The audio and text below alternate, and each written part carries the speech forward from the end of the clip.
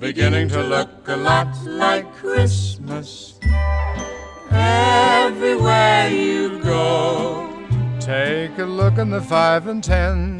Glistening once again. With candy canes and silver lanes aglow. Hello, you two wheelers, and welcome to a very special episode a Christmas on how to mount a 45 degree buckle on your inline skates. Of course, uh, mounting 45 degree buckles is exactly what you've been waiting for on this special occasion. So that is why I have my assistant Kuna that uh, is going to basically help us around with uh, the tools that we need and also the parts that we need. Isn't that right, Kuna? I thought so. but before we actually move on to uh, showing you how to mount the 45 degree buckle on your boot, feel free to click that subscribe button, uh, like this clip if you did enjoy the content, and uh, of course share it with your friends. Another piece of big news that I have for you is uh, the possibility next year to uh, maybe even be able to purchase some merch from the Serial Wheeler channel. Now you can see here that uh, this hand painted t-shirt uh, by my good friend Alexandra um, this is basically the the prototype uh, t-shirt that we're, we're looking at. So yeah 2021 may actually bring the first uh, merch uh, for uh, the serial wheeler channel. And i really hope that we'll be able to to get there soon. Okay so you have uh, your skates.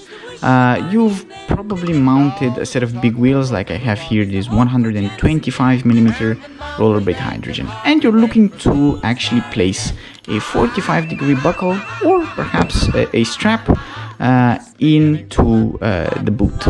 Now, uh, bear in mind that I would actually advise taking a boot uh, to your local skate shop and uh, basically seeing if the size is correct. As you can see here, I have an XL strap uh, from FR. Uh, and these actually proved to be quite bigger than what I needed. The boot that I'm working with here is the THEM 908 in a size S. Uh, and uh, I was way off with the size. I ordered them online and it seems that uh, these were, were far from being correct. And on top of that, I also had some parts uh, that were that were missing. So I actually went to the local skate shop uh, and I had my eyes on uh, a yellow uh, 45 degree buckle, but uh, that also, being in size L, proved to be quite a bit larger uh, for for my size S uh, 908s.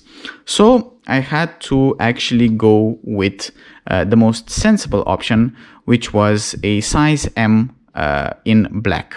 That actually proved to look the sexiest of them all. So if we go through the package, you will see that this is a size M and we have that uh, ratchet already mounted there. Uh, this is basically the other side that would go into the mechanism itself. Uh, again, a reminder that sizing is very important. In order to actually uh, mount the, the, the side, the, the belt basically that goes within the ratchet, this is how you would do it. So just slide that in and it will pop into place. Once it has locked into place, it will be very hard to, to pull it back. Um, you also have uh, these bolts. Of course, don't uh, actually throw them like that and you'll also need uh, an electric screwdriver uh, that in our case we would be using uh, to uh, basically drill the holes themselves. Here is Kuna again investigating that all of the parts are indeed in the correct order and uh, we really appreciate Kuna's uh, service to evaluate the craftsmanship of our attempt. Okay, so first things first, we would need to uh, place the ratchet uh, into this hole here in order for it to look like the, the one above. Now, in order to do this, uh, we will need this uh, rectangular shape that would need to go into uh, that space. And uh, then we would need the ratchet itself to be placed over and for the screw to come in the space itself.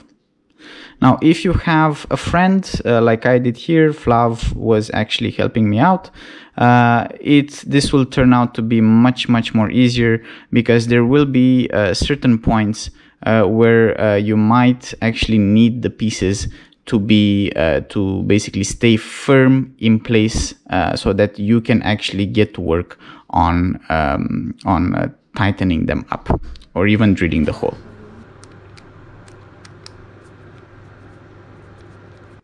So once you have both parts mounted, both the ratchet side as well as the basically the, the belt that would go within the ratchet, uh, make sure uh, that when actually placing um, them together, you are not actually bringing them uh, too much uh, together. So basically try to leave a little bit of uh, space uh, so that there is quite a bit of belt that you can still uh, ratchet in.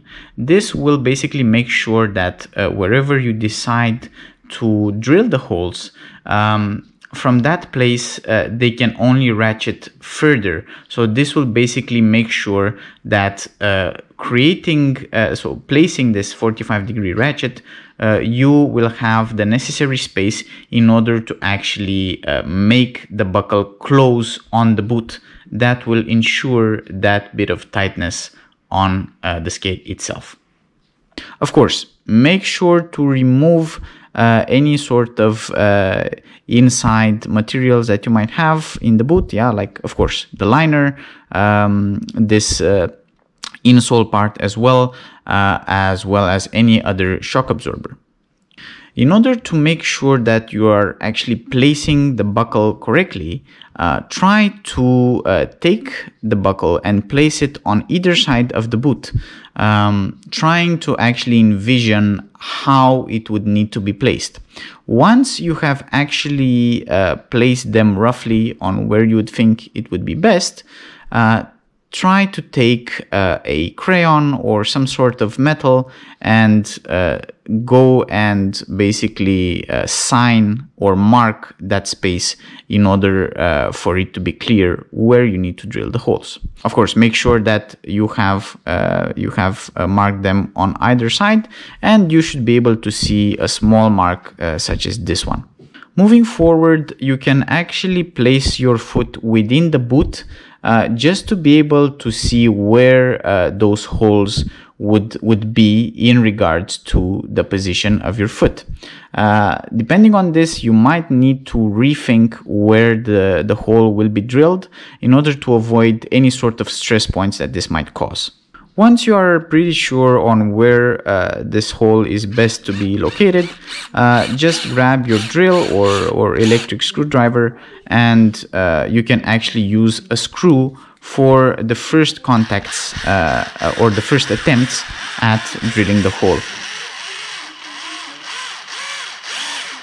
Remember that on the inside part you will need to have this uh, this this circle here that has some spikes that uh, will need to actually fit and um, basically this will need to attach itself to the inside part of the boot. Uh, and in order for the spikes to catch um, the hole needs to be big enough in order for uh, that cylinder uh, in the middle of the circle to pass through the plastic itself. This is why, as you can see here, after using uh, after using uh, different screws, we decided just to add a, uh, a drill uh, and basically this made our job much much easier.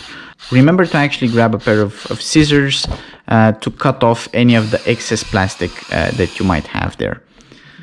Once the area is clean, uh, you will be able uh, to actually plug in uh, that uh, circle with the spikes and coming from the other side you will be able to place the buckle uh, as well as uh, getting the screw in between all of them and this of course as you are as you are screwing it up uh, not in the sense that you're failing you're screwing the the screw into the mechanism you will be able to see that the circle uh, on the inside will actually um, pierce the plastic and will be able to position itself in order to keep the buckle safe and secure And as you can see, uh, we actually managed to do an excellent job. Um, now, there is no pressure in uh, taking your time to identify uh, where you need to drill this hole. Um, also, uh, take your time to place your foot inside and see if perhaps uh, it would be a very, very bad decision um, to drill in a place where, let's say, the ankle of your foot is in direct contact. Yeah. Or at least make sure that the liner itself uh, is thick enough to, to actually protect you from uh, that, uh, that protruding piece. Now I've managed to actually test them and I can clearly say that the rigidity of the THEM 908, which is by definition quite a soft boot, has increased with about 70 to 80%, which is a huge deal. Now this will truly allow you to uh, go with big wheels on uh, such a soft boot setup.